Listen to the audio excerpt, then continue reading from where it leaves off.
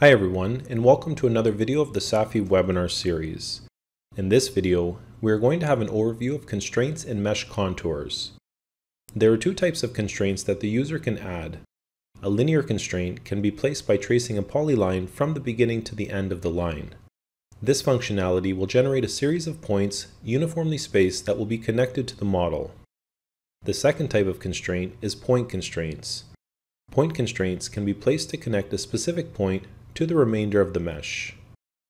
Let's start our demo. In this model, we already have a mesh contour.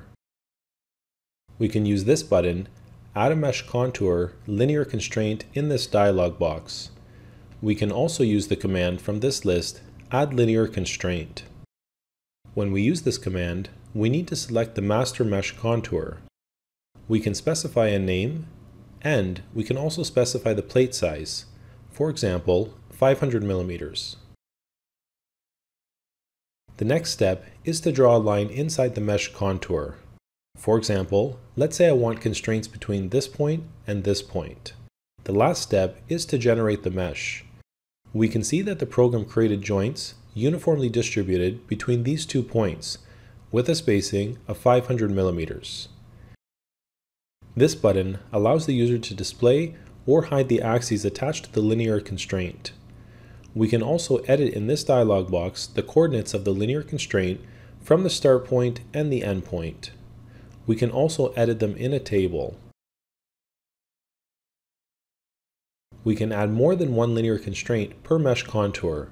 For example, if I want to add another one here, I can simply add it in a similar way. To edit an existing linear constraint, we use this button, Edit a Mesh Contour, and we click on the linear constraint that we want to edit. For example, this one. Then we can change the parameters of this linear constraint.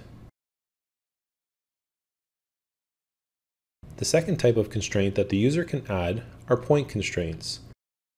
So in a similar way, to add a point constraint, we need to select a master perimeter in this case, this one, we can click on it. After that, we select the position of the point. We can select a point from the grid or a specific joint in the model. Let's say this one. You can edit the position coordinates directly from this menu. For example, 6500, and we click Apply to display these points. The last step is to generate the mesh. In this case, we will see that our mesh will be connected to this specific point where we applied a point constraint. This can be helpful if you want to connect the mesh to the model, for example, to other existing joints or members in the model. To delete a mesh contour, we use the button Delete a Mesh Contour on the Addition toolbar. This button allows the user to delete all types of mesh contours, including perimeters, refinement areas, openings, and linear endpoint constraints. That's it for this video. Thank you for watching and catch you in another one of our webinar series videos.